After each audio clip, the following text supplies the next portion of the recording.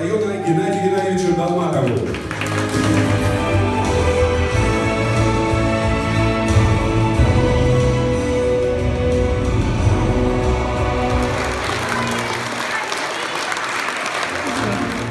Вы уже стали лидером в двух проектах. Это проект э, создания кинотеатров в малых городах. Омская область э, получила 29 кинотеатров. Вот, и сельские дома культуры. Так что давайте закре- закрепляйте лидерские позиции.